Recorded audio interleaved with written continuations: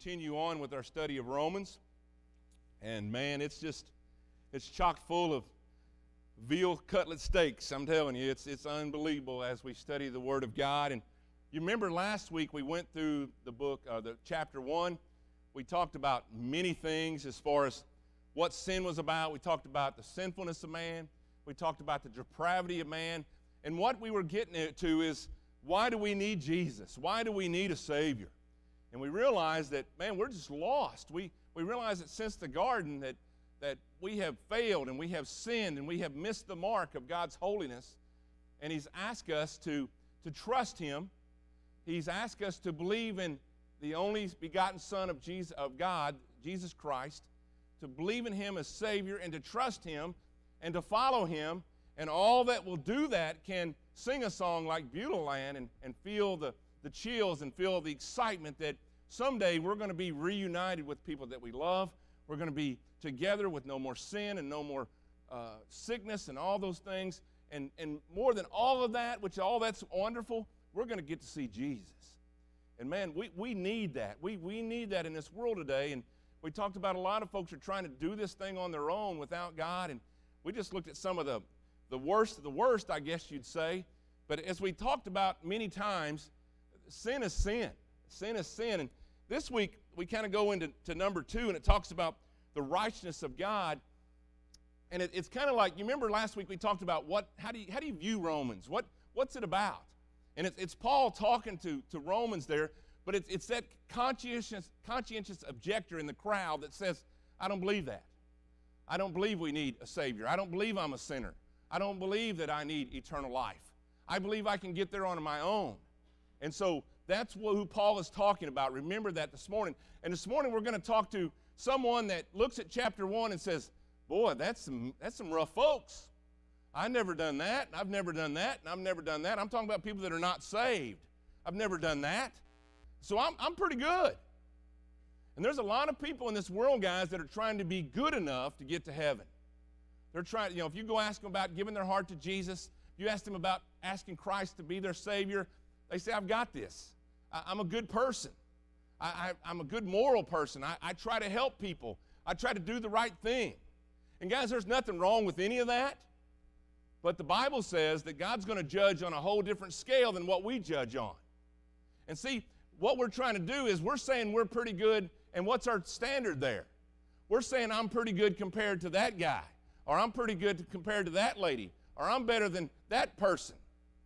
But you know what? When we get to heaven someday and stand before a holy God, you know what the standard's going to be? How we measure up against Jesus Christ.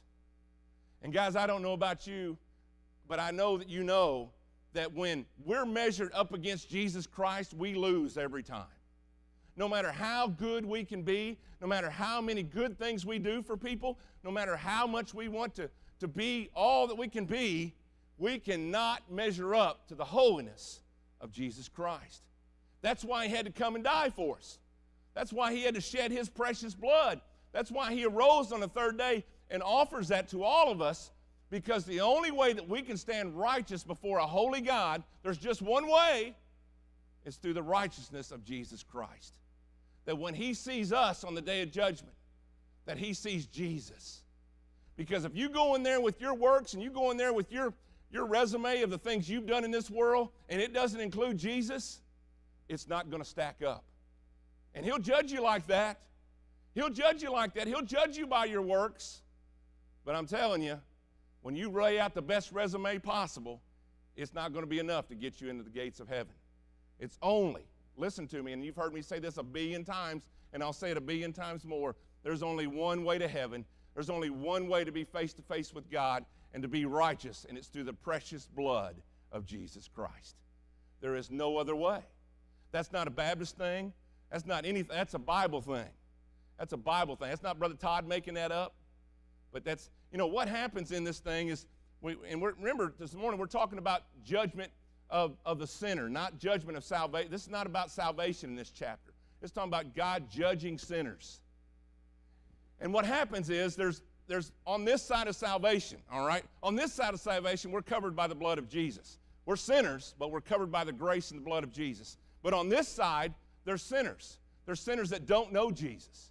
And their thought is, is well, there's some way down there, and I'm way up here on the mountain. Somebody needs to go down there and help them people. Somebody needs to give them some clothes or some soup or teach them some ways and teach them some more morals. But, but I'm so much better than that person, I've got to be better off. But you know what? No matter where we are in life, no matter where we are in life, the hurdles to get over to God's righteousness are the same whether you're up here or whether you're down there. Whether you got $5 or $5 million, whether you own all the world or you don't own anything, there's still one standard to get to Jesus, and it's through the blood of Jesus Christ. And that's what he's talking about this morning. He's talking about the judgment of God. God, everyone, and I mean everyone, needs a Savior, period. Listen to this if we could work our way to heaven, we could be our own Savior, and we wouldn't need Jesus or we wouldn't need Calvary. What we're saying is when we try to work our way to heaven, guys, we try to be good enough, we try to be religious enough, and not go through Jesus and not give our heart to Him and not sacrifice ourselves to Him and die to ourselves, we're saying, I didn't need Jesus to come and I didn't need Calvary because I can do this on my own. And the Bible tells me you're wrong. The Bible tells me you're wrong. Let's read Romans 2 1. Romans 2 1. You, therefore, it's talking about lost people, people that think they're better than the lost people that were in the first chapter, all right? We're always judging ourselves with each other. Don't do that. Judge yourself with Christ. You therefore have no excuse. You who pass judgment on someone else, for at whatever point you judge another, you are condemning yourself because you who pass judgment do the same things. Paul's talking about sin and the basis by which God will judge man. Man is guilty, and to reject God seals his fate. And that's what people say when they say, I don't need the blood of Jesus. I don't need, I'm a good person, Todd. I, I come to church a lot. I grew up in church. And listen, there's a lot of people that grew up in church, and that's good. That's a good thing. But listen to me, you're in so much more light than the person that's never stepped into the door that you're going to be condemned even more because you've seen the light, you've heard the light, you've heard salvation, and you chose to say, I can do this on my own. I don't need to give my heart to Jesus. I don't need to go up before people, or I don't need to get on my knees. I don't need to ask Jesus to forgive me of my sins. I can be good enough. And it does not work. It does not work. What's it say in John 3 17, 18? For God did not send his Son into the world to condemn the world, but to save the world through him. This is not up there, guys. Whoever believes in him is not condemned, but whoever does not believe stands condemned already they have not believed in the name of God's one and only Son. And then at 36 of John, it says this Whoever believes in the Son has eternal life. But whoever rejects the Son will not see life, for God's wrath remains on them. That's pretty straightforward, isn't it? Whoever knows the Son has eternal life. If you know Him as your Savior this morning, you have eternal life. But whoever rejects the Son and says, I can get there on my own, that I don't need Jesus, I can go straight to God, you are condemned. You are condemned already. Now, just a side note thinking about the terrible things we read in chapter 1, what should be the attitude of one who already knows Jesus as Savior? Let's stop just for a minute. We're talking about sinners that don't know Jesus yet. Well, a lot of us in this room this morning, we know Jesus as Savior. How, what should be our attitude in judging people and talking about people and, and looking at their sin? And yes, sin is awful. And yes, Jesus has asked us to proclaim, to defy sin, and to flee from sin, and to accept Him as Savior. But when we look at the atrocities of sin in chapter 1, and we look back, I'll look back with you, you don't have to. Uh, what did it say? They have become filled with every kind of wickedness, evil, greed, depravity. They're full of evil, murder, strife, deceit, and malice. They are gossips, slanderers, God haters, insolent, arrogant, boastful they invent ways of doing evil. What should be our position as saved people? You know what our position should be? On our knees, with our eye and our hearts broken and praying for the lost of this world. Remember in, in the great Sermon on the Mount, it says, Blessed are those who weep and mourn. You know what we're mourning about? Is the lostness of this world. The, the world that doesn't know Jesus. rather than talking about their sin, rather than gossiping about their sin, rather than putting that person down, we are to hit our knees and pray that God would save them. And pray, God, that you would use me to live in such a way that they could see something a little bit different, a little bit peculiar. And as I said to the kids this morning, He asked us, Jesus has asked us to be weird in a world that needs to see some weird people for Jesus. There's a lot of weirdness out there against Jesus, but He needs to see us weird in a good way so people can see the real Jesus Christ. Unity in the church, faithfulness in what we do, serving Him, that should be our attitude about judging others. It should break our heart that they don't know Jesus yet, and we do. Because it should, it's the heart that Jesus had, amen? It's the heart that Jesus had for the lost. You remember when the woman, they brought the woman that had been found in adultery, and they were picking up stones to stone her. And he said, remember, he wrote in the, in the dirt. Nobody really knows what he wrote.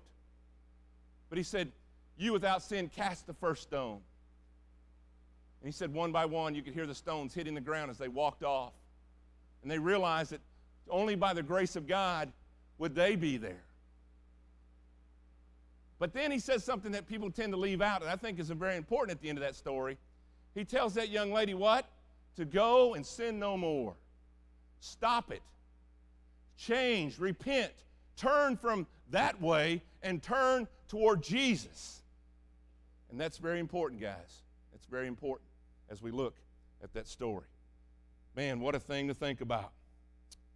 Remember what Fanny Crosby wrote? Good song we've sung many years Rescue the perishing, care for the dying, snatch them in pity from sin and the grave, weep over the airy ones, lift up the fallen, tell them of Jesus, the mighty to save. What a powerful song. That should be our view when we look at the lostness of this world. Rescue the perishing. Just like we've been rescued through Jesus, we want to throw that lifeline. There used to be another old song throw out the lifeline, throw out the lifeline. Rescue them through Jesus Christ. That should be our attitude. Rescue the perishing. The last part of, of the verse 1 says, judging our loss. Look at there one more time in 2, verse 1. It says, You who pass judgment do the same things. I've, I've, noticed that in my walk with Christ, and I know we're kind of talking salvation compared to sinners, where this is mainly talking about sinners. But guys, it's real easy. Isn't it easy to judge others' faults and to think it's all right for you to do that? We're really good at that. Man, can you believe they do that? Or can you believe they did that sin? Or can you believe that they've done those kind of things? And guys, if we'll think long enough and we'll look in that mirror just a few moments, the Holy Spirit will bring something to our heart, and we have committed the same thing. Remember what Jesus said, guys. Remember, his standard is different than ours. We think if we don't do it, we're better than somebody else. Jesus said, if you even thought it, you've done it. And that, separ- that, separ- that puts us all in the same pile, doesn't it? Sadly, it does. He said, if you've looked at a woman with a lustful thought, you've committed adultery. If you've coveted something that a neighbor has and you've wanted it for your own, you've been a thief. You've done it in your mind. Man, that changes the whole thing. He said, least you think that you're, you're not guilty. Look at your own life. Look at your own life. Some lost guy will say, Well, I'm not as bad as Hitler or Osama bin Laden. But you know what, lost person? You'll stand in line just with them, and you'll be judged on the same standards that God has. What's that standard? To believe in His one and only Son. And you will be judged according to that according to your deeds. Mm. When we judge other people, we assume the position of judge. Listen to this quote. When we judge other people, we assume the position of judge. God is saying that by the same token that you have the right to judge others by your standards, listen to this, He has the right to judge you by His standards. By the same token, by we sit there and judge others, and by when the lost man judges others and thinks I'm better than them, so I've got to step up on them, Jesus said, if you think you can use standards, I'm going to use my standards. And guys, I don't know about you, but I know about me. I don't want to be judged on my standards or by God's standards. If we look at that and say, I can be judged by God's standards and can be good enough to get in heaven, I don't think any of us is getting in. I know we're not. I know we're not as we look at that. Romans 2. Now, we know that God's judgment against those who do such things is based on truth. The truth of God's word is a two edged sword. Remember what Revelation 10 9 and 10 said. Listen to this. Remember that what John wrote. Remember, John had been lifted up into heaven and he was seeing things that's in Revelation and he was looking at all the events going on. And it says, at first it was sweet and tasty. We talked about the judgment of God. He said, Hmm, I know Christ. I know the Lord. It's going to be it's going to be great. It's sweet and it's tasty. But you know, and a lot of times when we're studying God's Word, we go, "Oh, I love to study the Bible. Oh, I just love to study the Bible." But then we get into these points where we shouldn't judge. Then we get into points where we're not getting there without Jesus. Then we get into the point where we're all sinners and all fall short of the glory of God, and all means everybody. And all of a sudden, we, it, it kind of sours our stomach. That's what it did to John in Revelation. He said, I took and tasted of the book, and it was sweet. But he said, as I realized the power of God, the awesomeness of God, the mightiness of God, of how far God is up there and how far I am down here, and how far apart we are, and I can never go over and expand that gulf that He's that I've cracked open with sin. He said, it turned bitter in my stomach. It made me sick. It made me nauseous because I realized I'm not near as good as I think I am. I'm not near on the level that God has wanted me. And it makes us really think, remember about his judgments. Acts 17 says this For he has set a day when he will judge the world with justice by the man he has appointed. He has given proof of this to everyone by raising him from the dead. Everyone will be judged. Now, there's a couple ways you can go about that. You can just kind of leave your hands off and try to work your way to heaven and don't go through Jesus, and you're going to be judged according to your works. And I, I, as I read in the Bible, guys, none of our works are going to be good enough to get us into heaven. Or you can go through the blood of Jesus, and you can be judged not on your righteousness, listen to me, but on the righteousness of Christ. Because he says when, when we stand before him someday and we're saved, he's going to look at us and he's going to see the blood that covered and, and took away our sins, the righteousness of Christ. And now we are righteous. We are right in God's eyes. And what's he going to say? Well done, thy good and faithful servant. Enter into your rest. Well, that's going to be sweet. It's going to be sweet. But we're all going to be weighed. Now, I kind of missed the cotton picking air all right, by hand. How many in this room pick cotton with a sack? All right, I see some hands, all right. Now, from what I hear, is when you got there with the bag, you threw it up on a scale, and they weighed the cotton, right? They didn't ask you where you got it, how you picked it, or who it belonged to. They just asked you, they just weighed it. Someday when we get to heaven, guys, He's not going to care where you've been, who you're related to, or where you went to church. He's going to weigh your sins. In Daniel, it says this You have been weighed on the scales and found wanting. Without Jesus, without Him taking away our sins, we're going to be found wanting. We're going to, be, we're going to come up short. We're not going to be able to make the quota that Christ has stood before us or set before us. Never believe the lie from the devil that you will escape judgment, judgment because I'm not as bad as that guy. See, the devil loves to lie to us. Well, you're not as bad as that guy.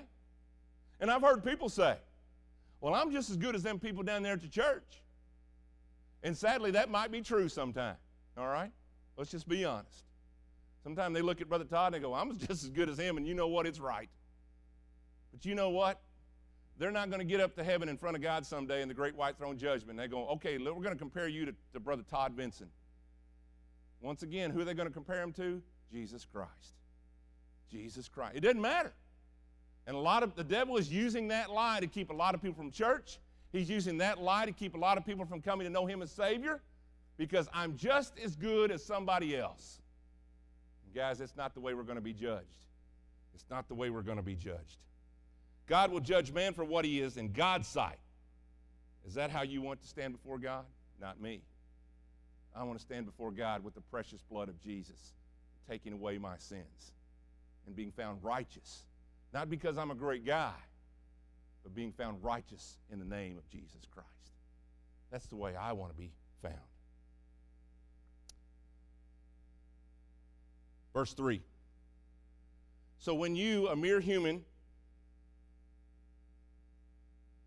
being, let me read it. So you so when you, a mere human being, pass judgment on them and yet do the same things, do you think you will escape God's judgment?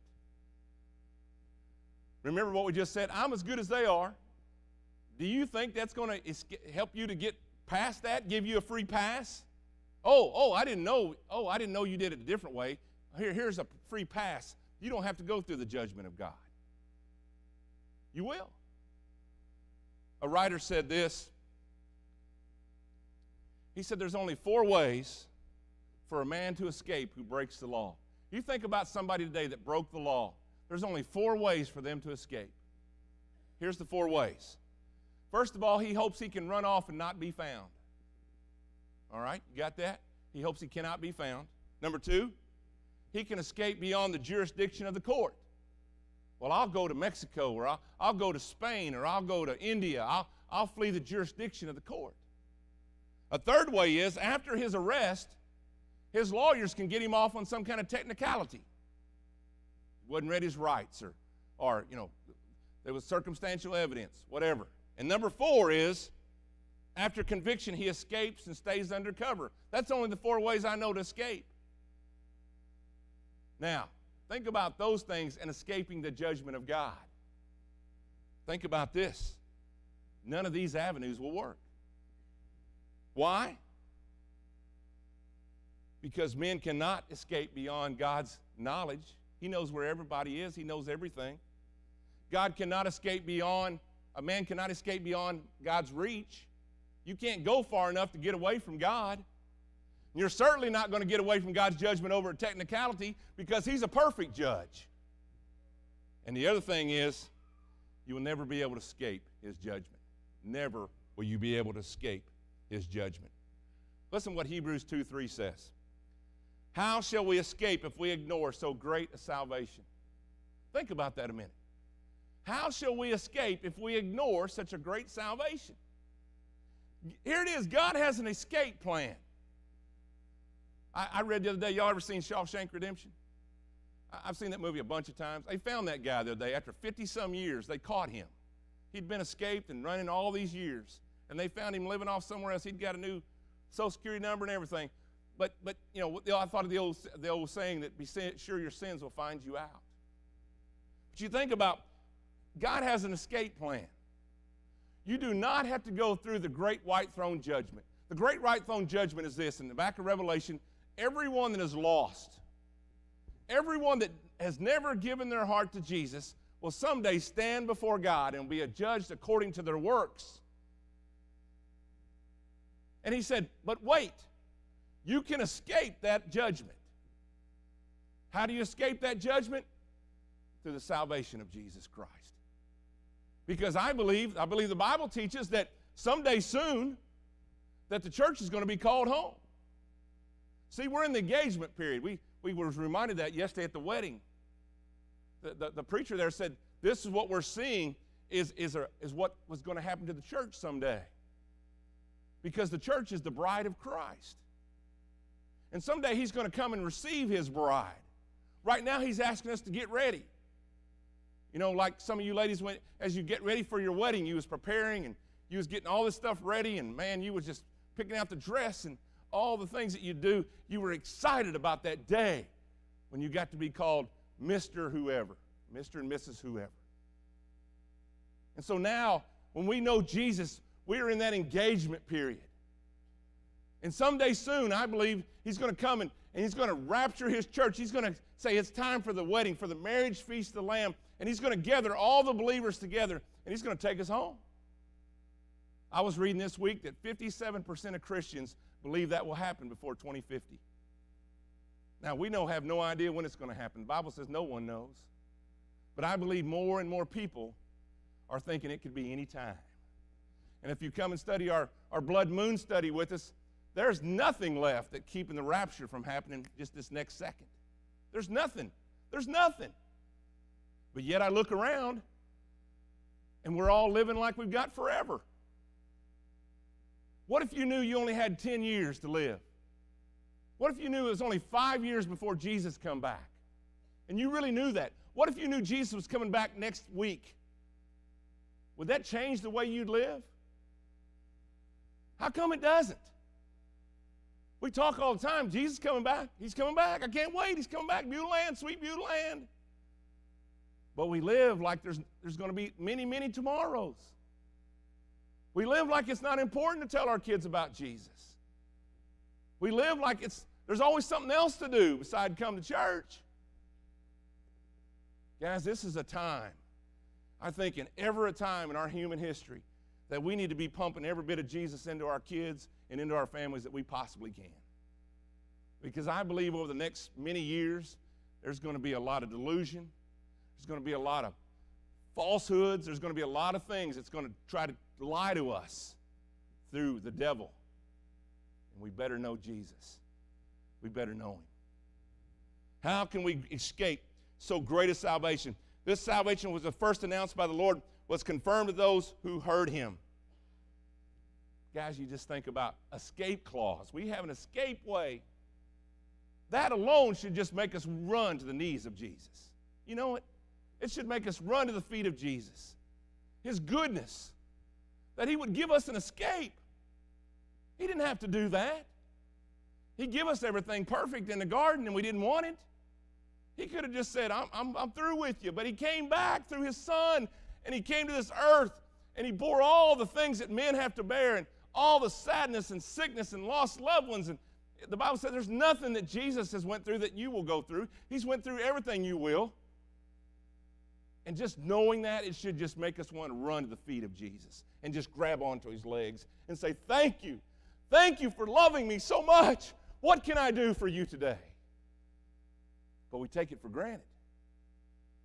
We get saved and we check it off our list and we think, I got that done. Now I'm going to go enjoy life. And guys, that's nothing about what he asked us to do. It's nothing about what he asked us to do. Listen to this quote the old preacher said. Man, this is something. This is in your face. Think about you're sitting here today thinking, I'm good. I'm good to go. I don't need Jesus. Here's what he said If you're putting all your hope in this world, you better suck this earth like it's an orange and get all you can get out of it. Drink all you can, eat all you can, and sin all you can because you won't have anything in the next life. You better get all you can get if that's what you want. Eat, drink, and be merry because tomorrow you die. Listen to me. Listen to me in this crowd today if you're lost. If you've never given your heart to Jesus, you need a Savior. Amen? You need a Savior. I need a Savior. You need a Savior. If you're dependent on this world to satisfy you, if you're dependent on this world to excite you and to get you all that you want, eat, drink, and be merry because tomorrow you die. And we all got to go through that door. It's appointed unto man once to die, and after that, the judgment. Guys, don't leave here. Don't leave this place today without knowing the precious love and know the precious salvation that Jesus offers. Don't leave here today without your pass to escape his judgment. Because I believe the Bible teaches that everyone that knows him as Savior will not pass before him to be judged. We will pass before him for our rewards. And we're going to be judged, I think, more in what we haven't done for him than what we've done against him because all of our sins have been forgiven and they're remembered no more. You think about standing before God. We'll read a little bit more next week. But you think about him, and, and later on in the chapter it says, in one of these days, every secret of your heart will be made public. The things you think nobody knows. The things that you think I've got away with. The things that only you've thought, but nobody knows you thought that. God says that someday before the great white throne judgment for the lost of the world, every little secret will come out. I don't want people to know all my secrets. That's why you go through the blood of Jesus Christ. And he says, I'll remove your sins and I'll remember them no more. I'll remember the secrets no more. I'll remember the times you failed no more. I'll remember the times that you had all those thoughts no more. Guys, that's, that's the line I want to get in. And that's the line I want you to get in. Please, if you're lost here this morning, don't think you can be better than someone and God will let you through. He's laid out the plan. It's pretty straightforward. It's not hard to understand. He said, You got to come to Him like a child, just childlike faith, and say, I believe in you, Jesus Christ. I believe you love me. I believe you died for me. I believe you rose again. And I believe you want to save me and take away every sin that I have. And you want to forgive me. And someday soon, I can stand before you in heaven righteous because of the blood of Jesus Christ. That's what you got to do this morning. And then you live for Him. You live for Him. It's pretty straightforward. It's not hard. It's just that we want to make it more than it is. Let's pray. Hey, thanks for joining us today. If you have prayer requests, need to contact us, or need directions to the church, check us out online at fbckeiser.com. If you want to join us, we're located at 210 East Main Street, or give us a call at 870 526 2604, or send mail to P.O. Box 306, Keiser, Arkansas 72351. We'd love to see you soon. Thanks again for joining us, and may God bless you.